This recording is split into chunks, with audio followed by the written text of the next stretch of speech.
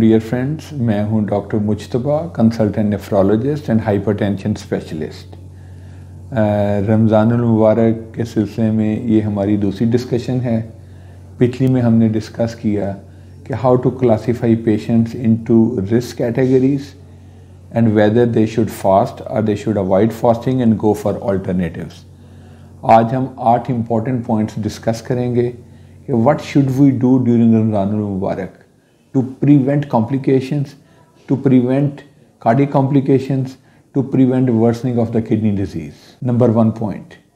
Uh, जैसा कि आप जानते हैं कि रमज़ान मुबारक की एडवांसमेंट के साथ गर्मी भी बढ़ रही है सो अवॉइड सनलाइट रोज़े के टाइम पे बाहर जाने से अवॉइड करें क्योंकि सनलाइट एक्सपोजर से स्वेटिंग बढ़ जाती है और डिहाइड्रेशन का चांस बढ़ जाता है and dehydration is not good for kidneys. So avoid going outside and avoid sunlight exposure. Number two, सहरी को ना छोड़ें। सहरी हर सूरत में करने की कोशिश करें। सहरी में आप यकीनन कुछ कैलोरीज भी लेंगे और इम्पॉर्टेंटली पानी पिएँगे। इससे डिहाइड्रेशन के चांसेस कम हो जाएँगे और शहरी अवॉइड करने से फास्टिंग बहुत लंबी हो जाएगी। डिहाइड्रेशन का चांस बढ़ जाता है। And dehydration is very very bad for kidneys even for normal kidneys और जो किडनीज़ वीक हैं, उनके लिए तो ये जहर का दर्जा रखती है। Number three how much water to drink कम अज़ कम तीन लीटर से ज़्यादा पानी पिए, ताकि आपकी हाइड्रेशन मेंटेन रहे। सुबह सहरी के टाइम पे भी और शाम अफ्तारी के बाद भी। फ्लूड पे ख़ास ध्यान दें। हाँ कुछ मरीज़ जिनको लिवर प्रॉब्लम है, जिनको हार्ट फेलियर का प्रॉब्लम है जिनका सांस चढ़ता है, टांगों में सूजन हुई हुई है, उनके लिए ये रूल अप्लाई नहीं करता। They should talk to their nephrologist number four try to maintain low protein diet बहुत ज़्यादा प्रोटीन स्पेशली फ्राइड प्रोटीन से अवॉइड करें। इससे किडनी पे लोड पड़ता है और यूरिया और क्रिएटिन बढ़ सकता है।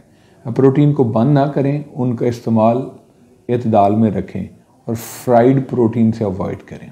नंबर फाइव, ऐसी खुराक से अवॉइड करें या उनका इंटेक कम करें जिनमें सोडियम है, पोटेशियम है और फास्फोरस है। क्योंकि किडनी जब कमज़ोर हो तो इनको हैंडल नहीं कर पाती, जिसकी वजह से इनका लेवल बढ़ जाता है and it can lead to complications sodium salt में ज़्यादा है तो सॉल्ट का इंटेक ज़रा कम रखें। पोटेशियम फूड्स में केला, टमाटर, आलू ऑरेंजेस डेट्स खजूरें शामिल हैं। इनको इतदाल के साथ इस्तेमाल करें। और phosphorus is very rich in dairy products chocolate dry fruit and so many other products ये एहतियात उन पेशेंट्स के लिए है जिनको किडनी डिज़ीज़ है।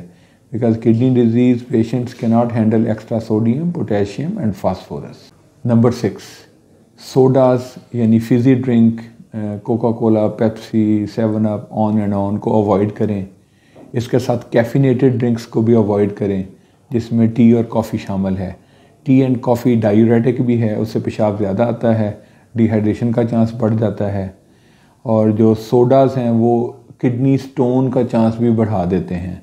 So please avoid them regular natural मशरूब उन पे फोकस करें रेगुलर पानी पे फोकस करें। Number seven kidney disease and diabetic patients अगर तो किसी की शुगर अनकंट्रोल्ड है, या उसमें फ्रीक्वेंट फ्लक्चुएशंस आती हैं, कभी बढ़ जाती है, कभी शुगर कम हो जाती है, ऐसे मरीज़ फास्टिंग से अवॉइड करें, क्योंकि हाइपोग्लाइसीमिया कैन बी फेटल और बहुत ज़्यादा शुगर बढ़ने से कीटो एसिडोसिस हो सकता है। जिसमें मरीज़ की हालत बड़ी तेज़ी से क्रिटिकल हो जाती है। तो such people should avoid fasting point number eight consult your physician regularly kidney का मसला है तो आप अपने नेफ्रोलॉजिस्ट से पहले मिलें, दवाइयों को एडजस्ट कराएँ and make a plan of regular blood test blood test should be every week और एवरी टू वीक्स ताकि आपको अपना किडनी फ़ंक्शन और इलेक्ट्रोलाइट का बैलेंस पता चलता जाए। और उस हिसाब से दवाइयाँ फ्लूड सोडियम पोटेशियम सारा एडजस्ट किया जाए, ताकि कॉम्प्लिकेशंस ना हों। This was the nutshell good luck अल्लाह ताला आपकी बातों को कबूल फरमाए। अल्लाह हाफिज़।